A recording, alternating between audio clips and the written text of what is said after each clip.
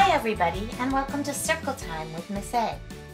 During these videos you will find calendar activities, math activities such as counting and pattern work, music and movement, which might include fine motor movement songs and poems, as well as gross motor dancing and exercise, alphabet activities, and of course, story time. I hope you enjoy these videos. See you soon. Bye bye.